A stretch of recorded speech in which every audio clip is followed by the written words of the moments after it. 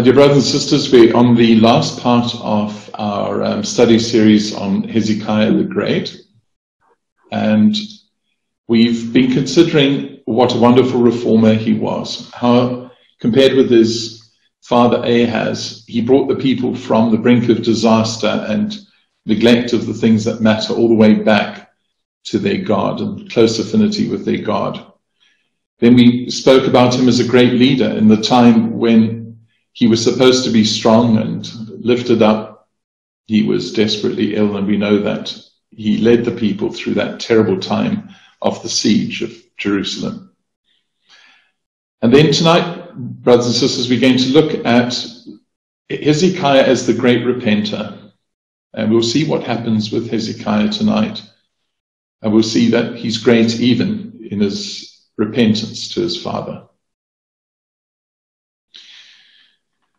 So, just connecting a little bit back to where we were last week, we know that there were three great shadows that had lain heavily upon Hezekiah.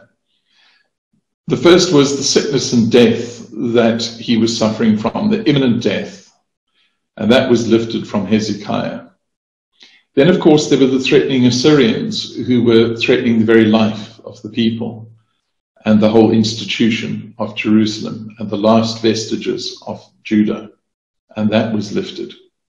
And then the last shadow that had to be lifted was truly the enslavement of the people to sin and their foolishness and their crazy partings when they thought that they had uh, tricked their way out of a bad situation running off to Egypt for assistance. And all of that enslavement was going to be lifted, and Hezekiah would stand once again unaffected by those three great shadows in the glory of God. But it was not just merely enough for God to remove those shadows. Yahweh created three great blessings for Hezekiah. He created a blessing of abundant life, not only for Hezekiah in his extended life, but for the nation as a whole. He granted Hezekiah and the people a great peace, a wonderful time of peace, very similar to the wonderful 14 years that he had originally had, but even with more peace in some ways. And then finally, restoration, restoration of the things that were lost and had been uh, broken down through these circumstances, through all the pillage and destruction of the Assyrians. All those things came back as three great blessings. And all of these wonderful blessings are mentioned in a beautiful section from Isaiah 37. And in Isaiah 37 at verse 30, the, the prophet says on behalf of Yahweh, and this shall be a sign unto thee. And just, just bear in mind that word that I've highlighted there, sign. This is a token to you, Hezekiah. You shall eat this year such as growth of itself, and the second year that which springeth of the same, and in the third year sow ye and reap and plant vineyards and eat the fruit thereof. So it's talking of a three year blessing that God was going to give to not only Hezekiah, but to the whole land and all the people in it. And of course, we know on the right that this abundant life that was spoken of was a year of Jubilee. Yahweh was causing a year of Jubilee to be celebrated in the land. And we know from Leviticus, and if you shall say, What shall we eat the seventh year? Behold, we shall not sow nor gather, in, uh, gather our increase. Then I will command my blessing upon you in the sixth year, says Yahweh, and it shall bring forth fruit for three years. So what Yahweh was doing was giving great fructification to the, the land, that it would yield its, its blessings, so that the people wouldn't have to worry about agriculture. They could rebuild their homes and their lives in Judah and the surrounding territories without having to worry about agriculture. They were being fed and watered from heaven in this great jubilee. And then Isaiah 37 continues, and he says, in verse 31 that the remnant that has escaped of the house of Judah shall again take root downward and bear fruit upward. For out of Jerusalem shall go forth a remnant, and they that escape out of Mount Zion, The zeal of Yahweh hosts shall do this. The Yahweh armies, it's a militant title. And of course, we know in the, the Jubilee that abundant life was extended to the true owners of the land. Remember, around about Jerusalem, all of Judah had been overtaken by the Assyrians. All of those people were to get their land back. Land restoration to all of those who had been disenfranchised by the Assyrian invasion. But there was something more to it than just that. Because you see, the description here is that they're going to be rooted once again and bear fruit upward. And that lovely pattern is a, great scriptural model that we have to be grounded in the right things to bear fruit upwards to God. And in so doing, Yahweh then rewards that fruit with rain. And it's a wonderful virtuous cycle. Therefore, it can bear more fruit. That goes all the way back to Genesis, that cycle. But what else was it talking about here? Well, quite literally, the, the Jews, particularly Judah, were under the heel of the Assyrians. And, and this literally is a frieze of uh, a prisoner under the heel of one of the Syri- Assyrian kings. They literally did that to show that they were over the, the uh, prisoners. Absolutely horrible position to be in with your face crushed into the ground. And the remarkable thing is, this prophecy of Isaiah applied to a great group of people to, who were returning to Jerusalem and Judah. The remnant that has escaped of the house of Judah shall again take root. There was a remnant of the restoration of slaves and of captives. Those who had been captured in the surrounding areas. Remember the 46 cities around in Judah that had fallen to the Assyrians, and that vast host of people had been taken away by Sennacherib. Those people were going to return to their own land. And then Isaiah continues to say in verse 30, uh, Isaiah 37, verse 33, Thus saith Yahweh concerning the king of Assyria, He shall not come into the city, nor shoot an arrow there, nor come before it with shields, nor cast a bank against it. By the way that he came, by the same shall he return, and shall not come into this city, saith Yahweh. Now, we may think, well, that was just the one instance, but it was for all time. One of the other parallel references actually speaks about God literally putting a hook in his nose and dragging him all the way back to Nineveh from whence he had, had come. And the point is that Sennacherib, after his defeat, would never, ever return to Judah. And it's a remarkable thing, scripturally, that we tend to think Sennacherib went back to Nineveh and was then killed by his sons. It appears he lived for about 19 years before his two sons killed him in the house of his God. Yet in all that time, he never returned to Judah. He had gone on a number of very successful campaigns, including against people who, were very close by in, in, in geographical sense to Judah, and he never invaded the land again. So what God had said absolutely remained. He would not come into that city ever again. So the prophecy of Isaiah was true peace was granted to Hezekiah and the people. How did Hezekiah respond to this? Well, of course, Hezekiah was a wonderful man of God. He had been redeemed from the, the, the bars and the gates of death. And now all of these blessings come upon him and the people. So Hezekiah does two things. Firstly, he praises God in, in the most spectacular psalm it's a beautiful psalm that's buried in Isaiah 38. Um, spend a little time looking, looking at it because it gives some insights into the psychology of what Hezekiah was thinking when he was at the point of death. He was literally chattering like a bird with fear and anguish. So you can, you can see a lot of what he went through and what was motivating him to pray the way he did. And it was always that those in the grave had no means of praising God, and he, he felt it a terrible thing that he wouldn't be able to praise the God of his salvation. That was his true motivation. And at the end of Isaiah 38, he makes this most wonderful pledge. He makes a pledge to Yahweh to praise God for the rest of his days.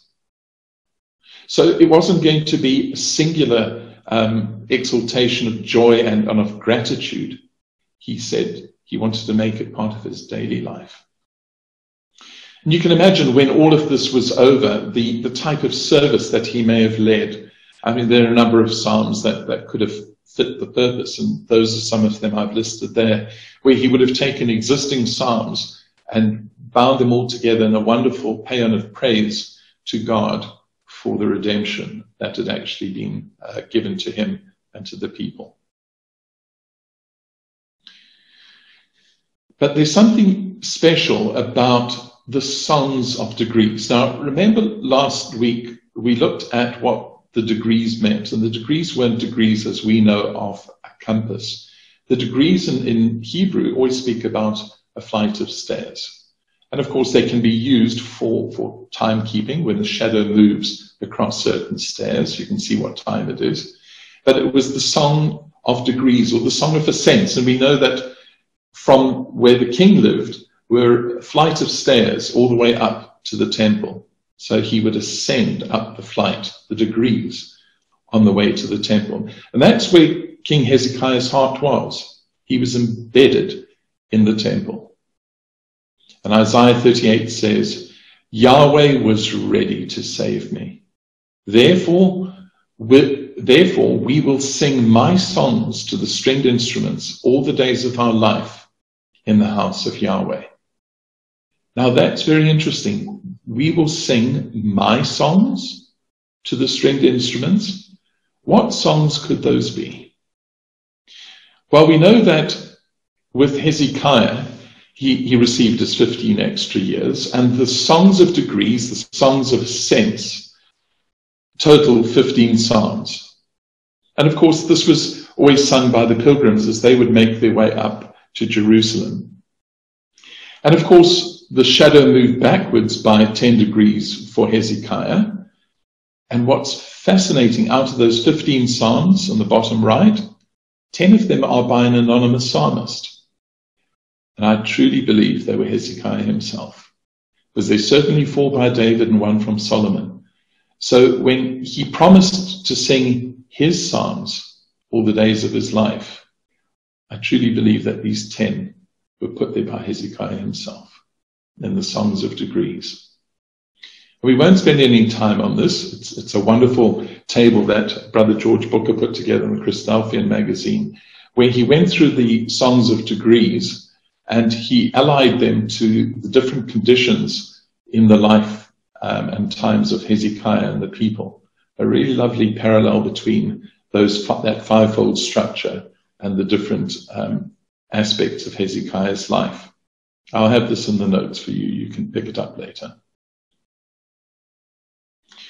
But there's a lovely further glimpse into Hezekiah's state of mind, and it comes from a very unexpected source. And it is this this is actually Hezekiah's seal. The seal that was found in the, I think it was 2009 in uh, Jerusalem. And it is actually the seal, the imprint of, of Hezekiah's seal. It's a, it's a tiny little, uh, they call it a bulla. It's, it's about a centimeter across. So it's really small, about the width of your thumb. And this is the imprint in, into clay, and it was baked hard by fire, so it was preserved.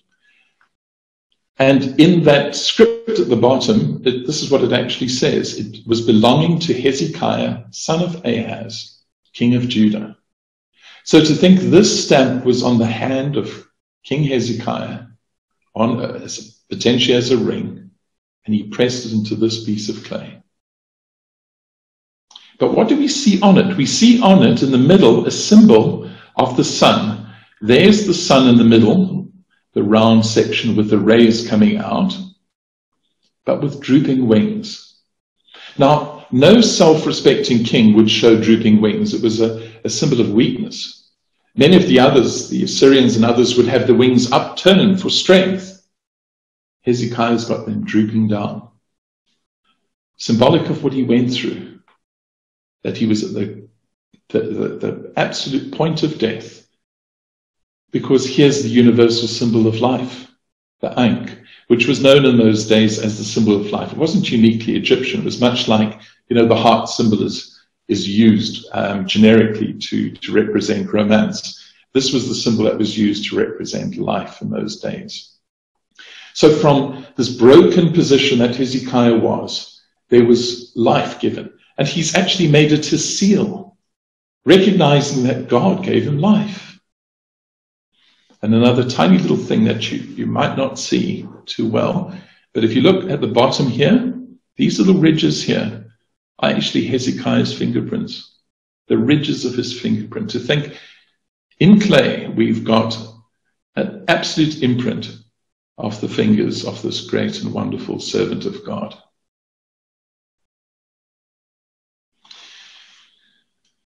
So, as in the, the time of the siege, the peace and prosperity that God had granted to the people were absolute and, and certain.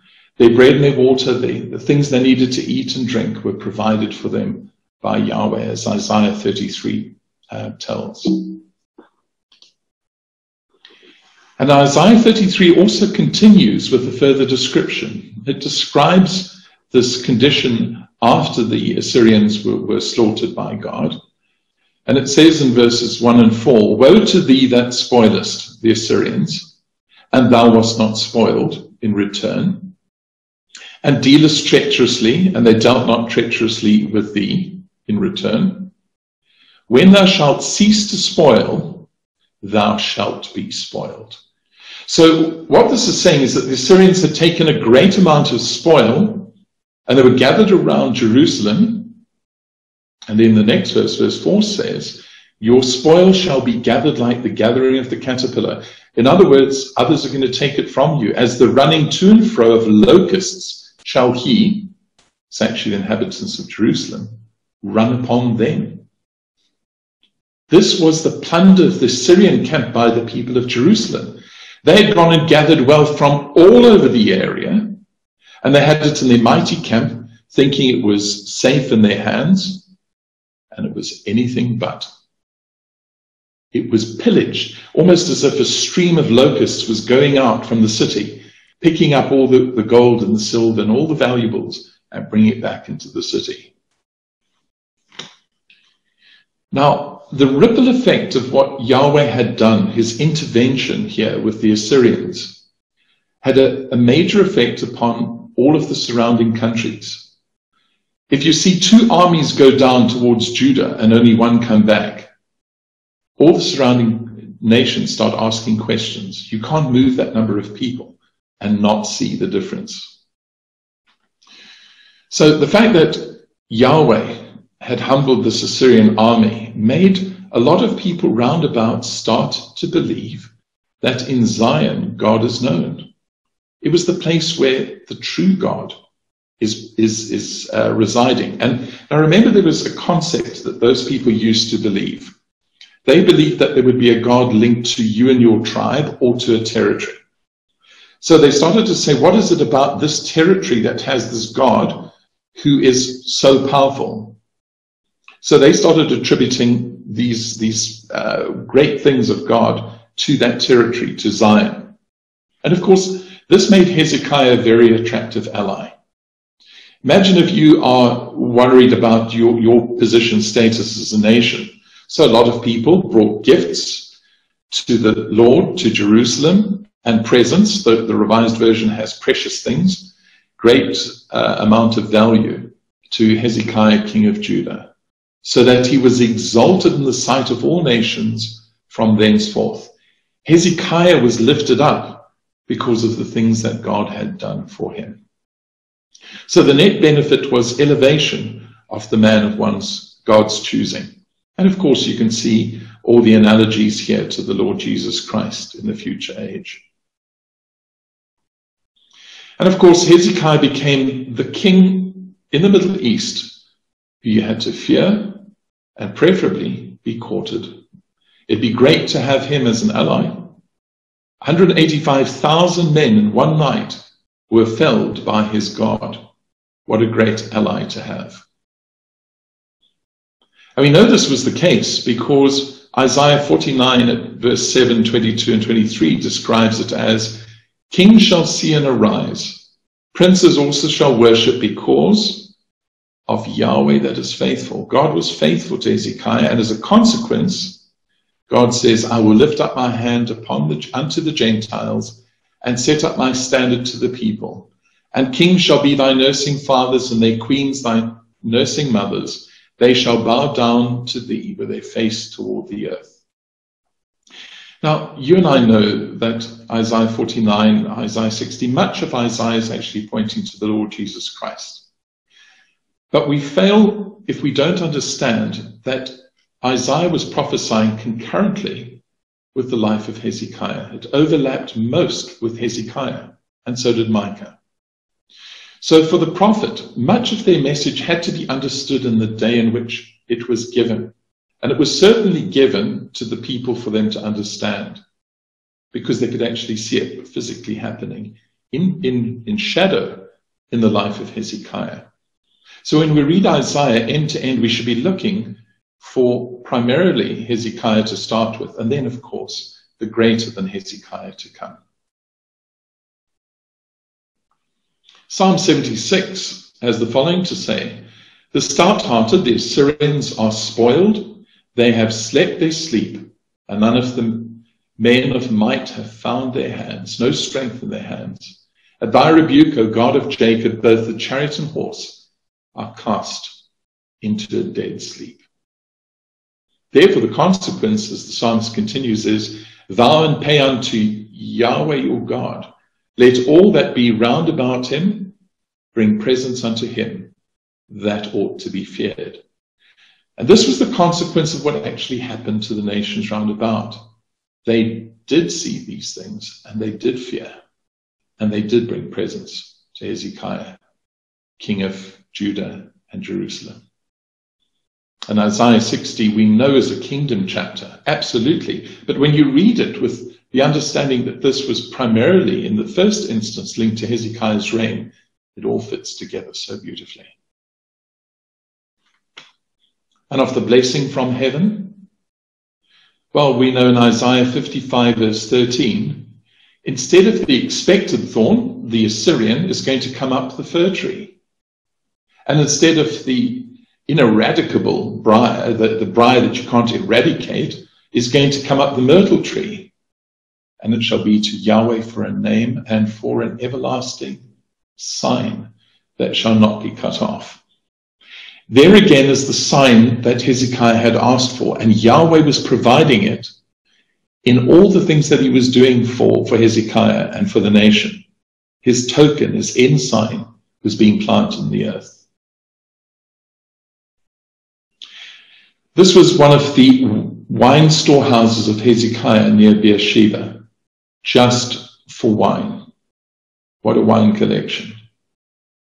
Hezekiah, as Chronicles tells us, had exceeding much riches and honor, and he made himself treasuries for silver and for gold, and for precious stones, and for spices, and for shields, and for all manner of instruments of desire, appears to be musical instruments. Storehouses also for the increase of corn and wine and oil and stalls for all manner of beasts and flocks. Moreover, he provided him cities and possessions of flocks and herds in abundance, for God had given him very much substance. This was a wonderful blessing that Yahweh had caused to be given to this nation that was just a few months before in total deprivation under siege conditions within the city walls. And heaven's bounty is opened upon the people.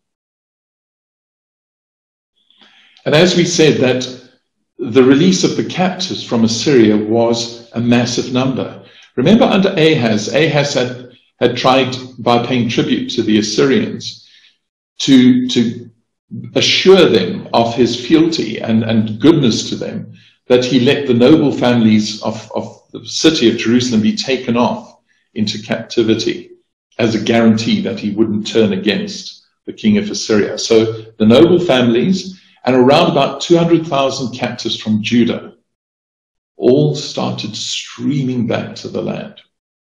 We've got to get an understanding of this because in the times of Nebuchadnezzar, it was only around about 50,000 people that were taken. This was four times or more larger in terms of the return to the land than were ever taken out in the times of Nebuchadnezzar. We keep thinking that's the great reduction of Judah. This was the time of the reduction and restoration of Judah under Hezekiah's reign. And as they came over, after marching for thousands of kilometers through the barren deserts, they came to this beautiful land with Mount Tabor in the background, and they could smell the air of home once again. Isaiah 11 says, He shall assemble the outcasts of Israel and gather together the dispersed of Judah from the four corners of the earth. Absolutely futuristic too, but it applied here at this time. And there shall be an highway for the remnant of his people which shall be left from Assyria. Like as it was to Israel in the day that he came up out of the land of Egypt. You see the analogy with the Passover out of Egypt and the escape here from the Assyrian lands? Isaiah 27 continues It shall come to pass in that day that the great trumpet, the trumpet of the Jubilee from Leviticus 25, shall be blown, and they shall come, which were ready to perish where? In the land of Assyria. They'd given up all hope of returning. And they shall worship Yahweh in the holy mount of Jerusalem. They were coming home. And they would see those city walls which their eyes had given up ever seeing ever again. And Isaiah 35 records, the ransomed of Yahweh shall return and come to Zion with songs and everlasting joy upon their heads. They shall obtain joy and gladness, and sorrow and sighing shall flee away. How can they sing the Lord's song in that strange land? Well, they were able to sing it when they were returned to the place of their nativity back in the land of Judah and Jerusalem. Then a remarkable thing took place. Hezekiah married. Remember, the whole point of Hezekiah's appeal to Yahweh was that he was going to die with no heir. Therefore, God's promises to David would come to an end. So at this point, a further blessing is given that Hezekiah marries, and the product of that marriage is the heir that was required um, for the continuance of the line of David.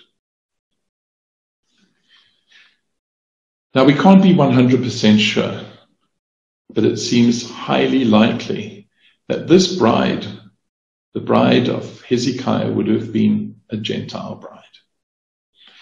There are a number of reasons for it. Of course, we know Psalm 45 is the psalm that prefigures the bride of, of Christ and the marriage of Christ to, to his, his bride. In Psalm 45, verse 12, out of all the nations that could have been mentioned there, she is described as the daughter of Tyre. Now we know that when Assyria was on the ascendancy and was the great power threatening the whole area, particularly Judah, the king of Tyre had actually given his support to the Assyrians. He was on the other side. Psalm 83 actually indicates that. So the king of Tyre was actually against Judah, but the tide has certainly turned. Now the king of Judah is in the ascendancy. And it's very possible that the king of Tyre offered his daughter politically to seal the peace with Judah. This is what kings do.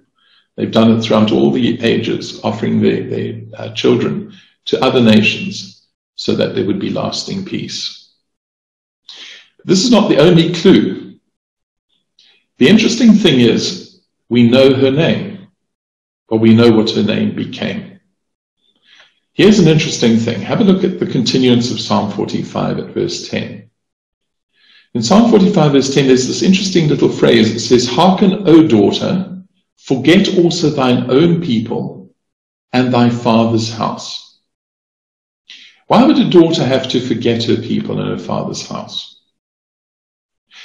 The only time that actually happened was a provision under the law for when somebody who was Jewish took a Gentile bride. And she had to bewail the fact that she had left her Gentile roots and was now being part of Israel. And then for a period of a month, the Jewish husband was to see whether he took pleasure in her, that she was a suitable wife. If not, the law had a provision that at the end of the month, the marriage could be annulled and she could go her own way and the marriage would be dissolved and over. Isn't it fascinating then that in 2 Kings 21 at verse 1, she's renamed, and I say renamed because this is a Jewish name, a Hebrew name. She's actually renamed Hephzibah, which means my delight is in her. So, in other words, it's as if he married her, spent time with her according to the law, the provision for marrying a Gentile bride, and then renamed her with this Jewish name, My delight is in her. And those very words are used in the law. If he does not delight in her, she is free to leave. So she's actually called Hephzibah in 2 Kings 21, verse 1. And another little clue, possibly, is that the child of this union was Manasseh. And Manasseh means causing to forget. So she may have been homesick. Obviously, she had to bewail the fact that she had to leave her Gentile roots. But when the child is born, she's forgetting all of her past. Very interesting possibility of tying all of those together. And quite interestingly, too, because this points to Christ taking on a bride who was of Gentile roots. That Christ was not only married to Israel, but married to the wild olive tree that was grafted in as well. Isaiah 62 gives some other lovely clues there as well. You can look at those in your own time. But then came a terrible time of testing for Hezekiah. It was almost as if everything was just too good to be true. It was all absolutely perfect. You couldn't imagine a better set of circumstances. Everything was right. But this is what was happening at that time. There may have been peace for Judah and Jerusalem, but there wasn't peace in the whole area. There were three great poles of power Assyria up in the north, and Assyria hadn't gone anywhere. Assyria was certainly powerful. In fact, after Sennacherib, Assyria actually extended its reach far further than had managed, all the way down into Egypt. Remember that they had uh, problems with the great, strong uh, black pharaohs of Egypt, how powerful they were, and had defeated the Assyrians so many times. So the Assyrians were still a very powerful pole. The Egyptians were very wealthy, very powerful, could command great forces. And of course, Israel was always tempted, Israel and Judah tempted to run down to Egypt for assistance. There was another interesting pole, and it was down here in Babylon. And, you know, the Assyrian territory took in into its sway a number of sub countries or, sub uh, tribes. There was the Babylonians, and then down south towards the Persian Gulf, the Chaldeans, down here, Ur of the Chaldees. So there are these other people who are under the sway of Assyria, but not Assyrian. And then, of course, against all of this is this tiny little island. This tiny little island. And think about it like this. Here you've got this Assyrian Empire, and this was under Sennacherib, the extent of his, his reign, as far as we can gather. A vast territory. So the Elamites over here, Shushan, the, uh, the, the, palace over here, where eventually uh, Nehemiah was installed as, as the governor. The Chaldeans here, uh, Babylon here, Assyria here, Syria to the north was included, all the little vassal states all the way down. And then, look at it, it literally stops just north of Jerusalem. What was it about this tiny, tiny little city state and surrounding um, areas that was able to hold off this entire Assyrian empire?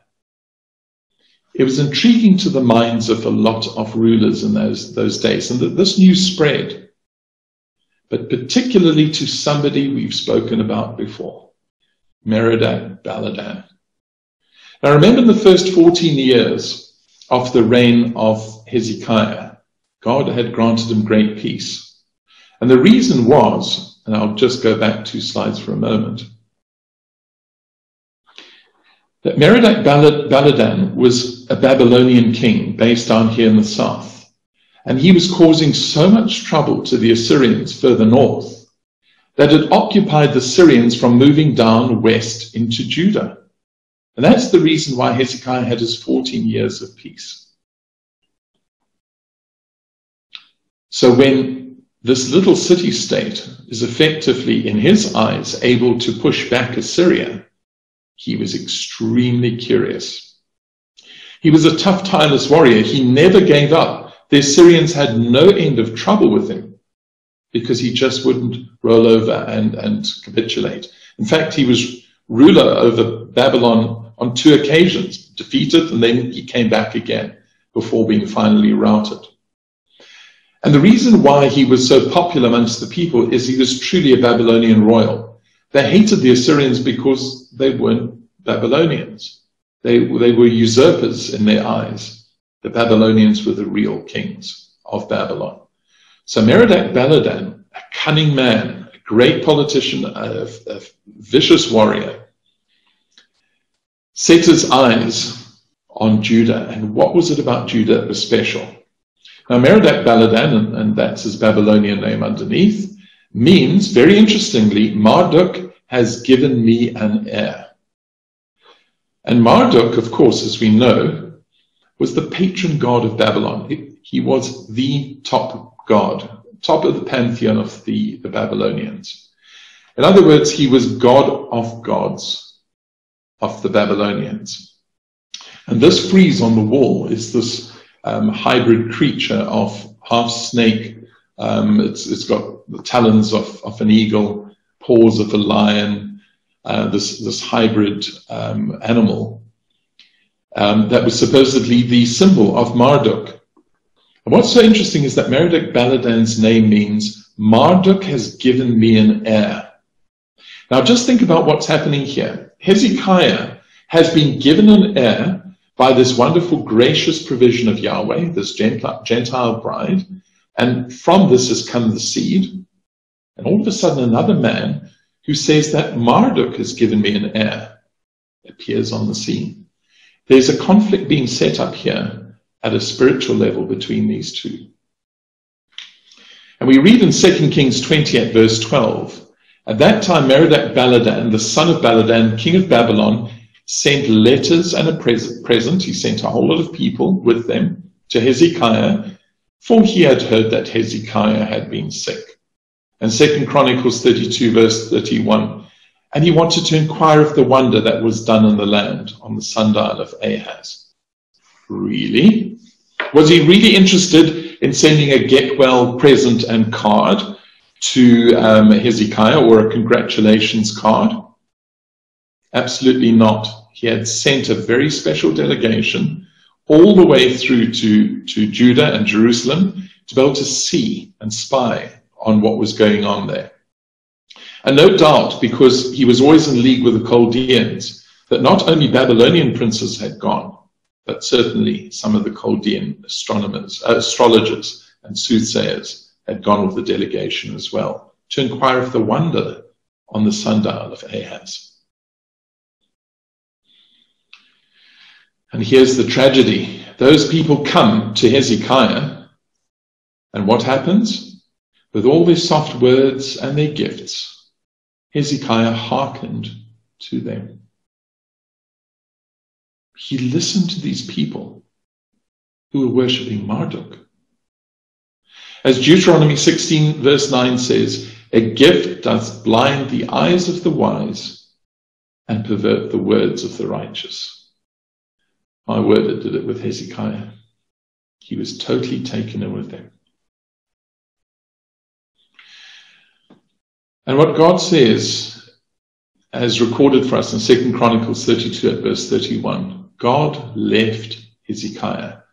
Not literally, he had blessed him, but he left him through the presence of Isaiah. Now remember, Isaiah was the elder tutor of Hezekiah through his life. Isaiah pulled himself back from Hezekiah. God left him to try him that he might know all that was in his heart, like Solomon was tried under very similar circumstances.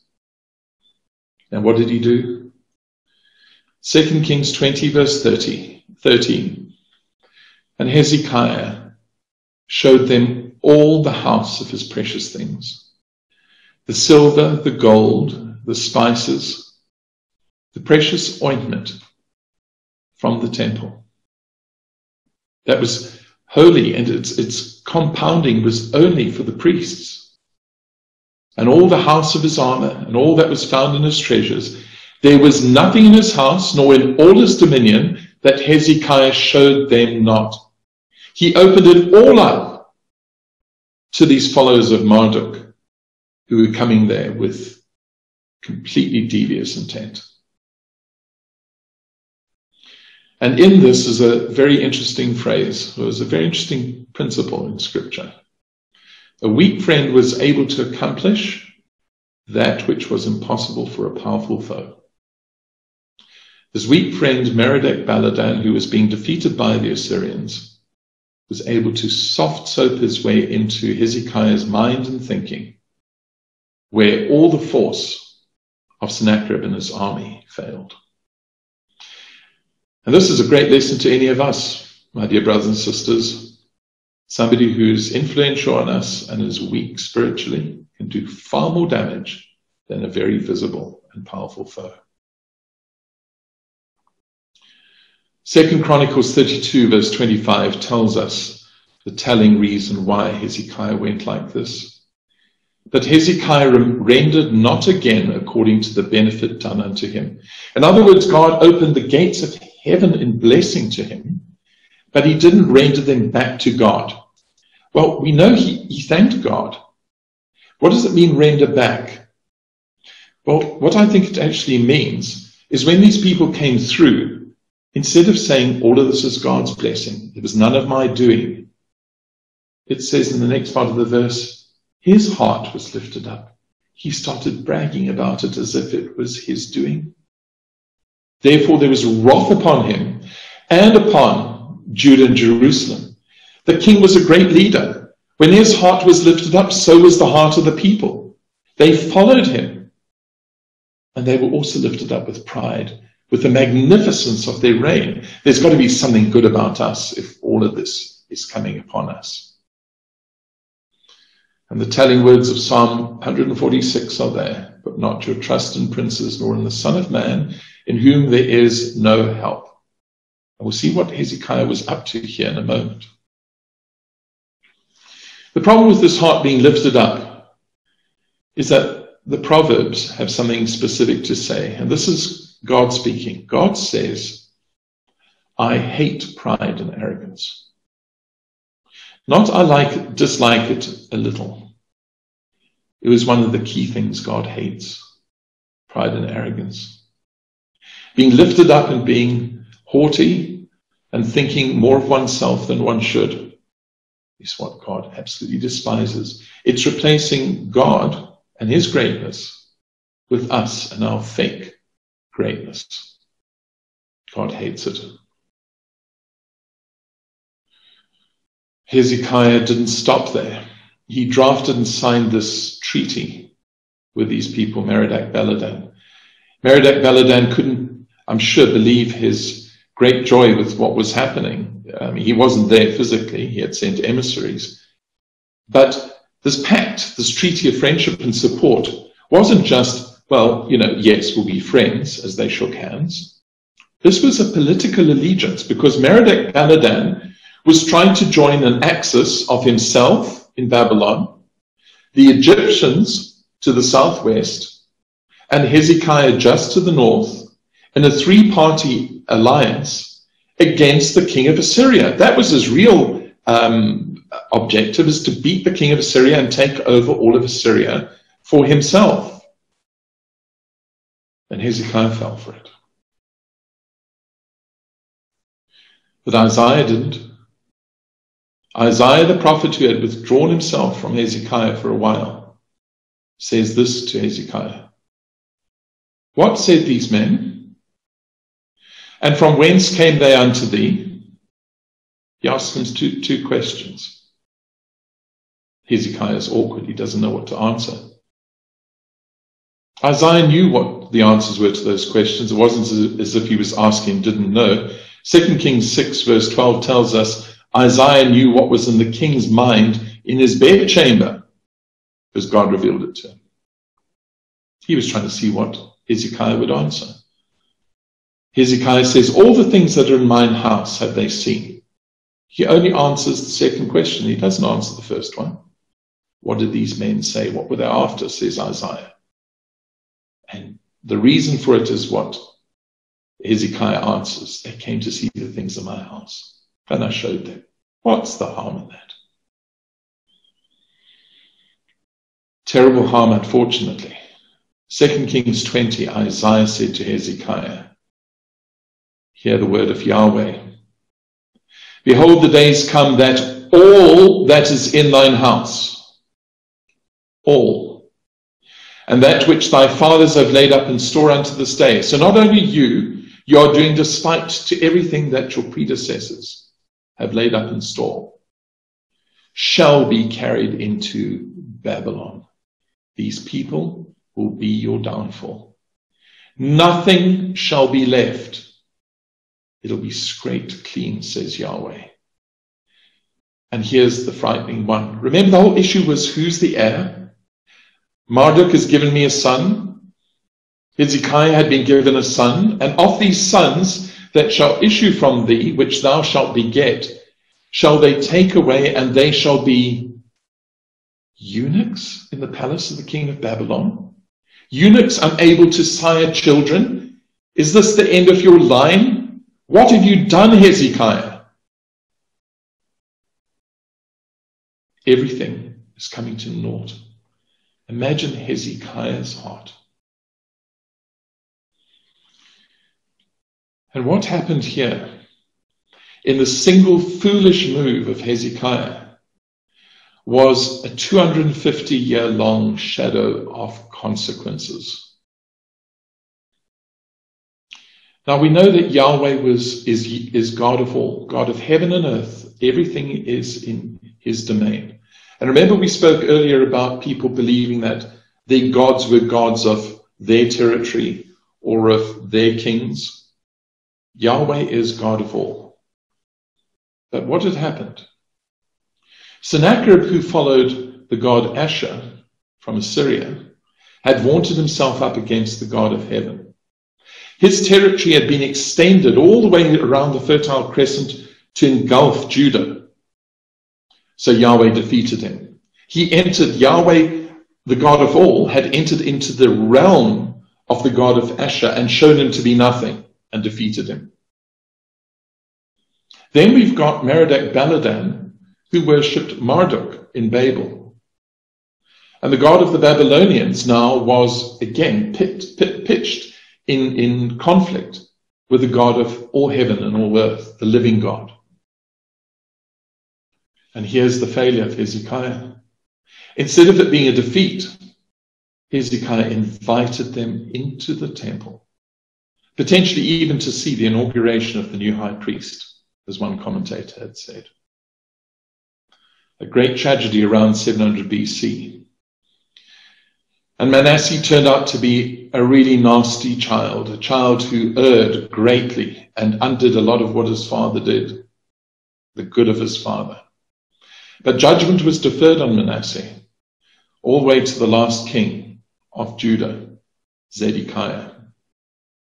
And then Zedekiah and Judah were taken to Babylon, as the prophet had said, by King Nebuchadnezzar. There was three waves of, of captivity that were, were uh, undertaken by Nebuchadnezzar, and the last one around about 605 BC. So what Isaiah had said came to pass. And the eunuch Daniel went to Babylon. The eunuch Daniel from the princely house went to Babylon. And his name is the judgment of El. God is bringing judgment upon not only Judah, but upon this other God that vaunts himself up against the God of heaven and earth. Because some 70 years later, Belshazzar was having a feast, and that feast was a religious festival. They were worshipping their gods, including Marduk, and they needed to do something to show their subjugation of all the other gods, including the God of Judah. So they brought in the in the absence of having any idols, they bring in all the other idols from Edom and Moab.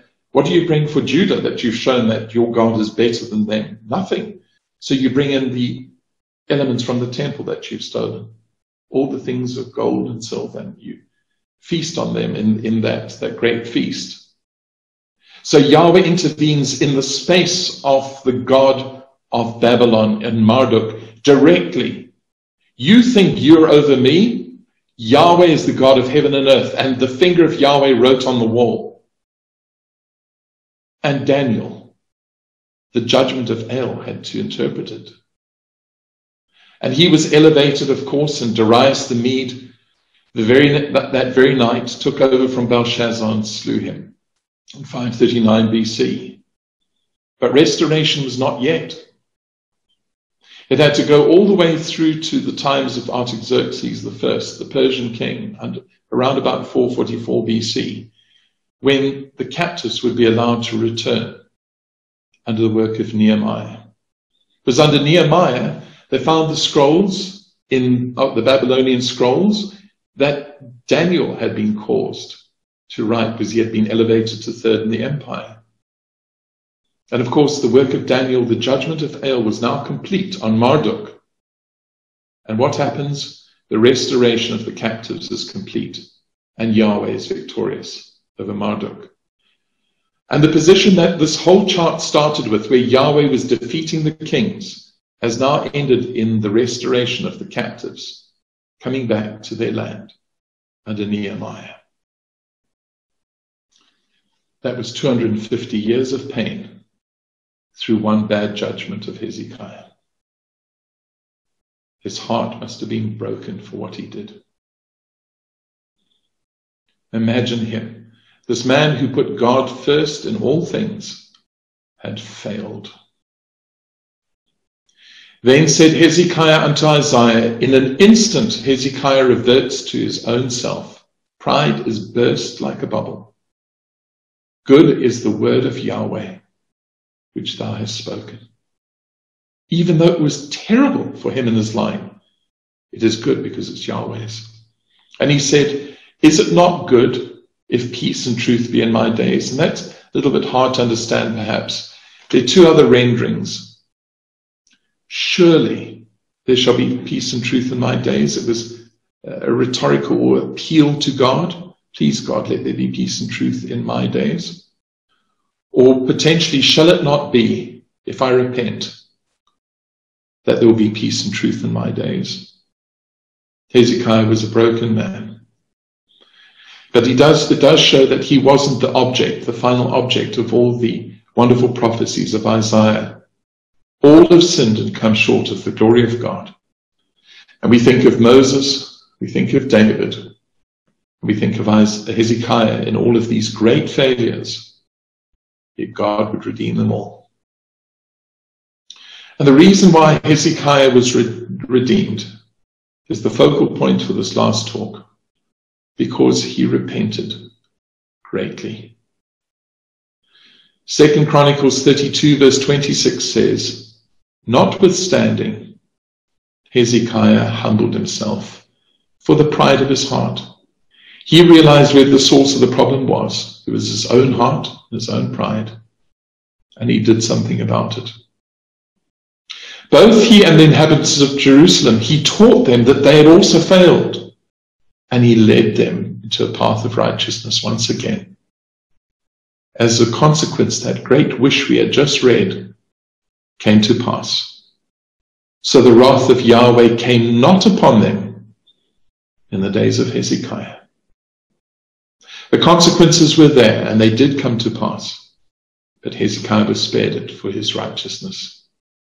God can redeem even these great errors of judgment. So in the final estimation then, we read in 2 Chronicles 32, Now the rest of the acts of Hezekiah and all his goodness, behold, they are written in the vision of Isaiah the prophet, the son of Amos, and in the book of the kings of Israel. This is giving us a clue that we ought to read Isaiah with a view to Hezekiah very carefully. And Hezekiah slept with his fathers, and they buried him in the chiefest of all the sepulchres of the sons of David. And Judah and the inhabitants of Jerusalem did honor him at his death. This was in contradistinction to what had happened to his father Ahaz. Remember, even though he was the king of uh, Judah, what did they do? They didn't even bury him with the kings of Israel. That he's given the chiefest of sepulchres of the sons of David, honored and loved by his people. And perhaps this that was in our readings recently this week was a telling verse because it's heaven's own summation of Hezekiah himself. Hezekiah trusted. If that's the summary of what Hezekiah's life is, it is that Hezekiah trusted. He had faith in Yahweh, God of Israel, so that after him was none like him among any of the kings of Judah, nor any that were before him, because he had faith in Yahweh, God of Israel, above all things. If there's any indication to us, brothers and sisters, what God requires of us, that He would like to see the estimation of our lives, is that phrase He trusted in Yahweh. So, indeed, brothers and sisters, Hezekiah was the great. He was the great reformer, the great leader, and indeed the great repenter. And for that, he certainly will be great in the kingdom of God. It will be wonderful to speak to him.